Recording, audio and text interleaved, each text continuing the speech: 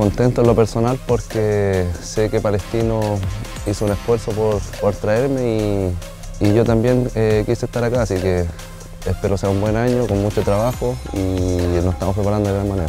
Todos sabemos la trayectoria del profe y ojalá con trabajo, con, entrega, se puedan lograr los objetivos que, tengamos tanto grupal y yo en lo personal.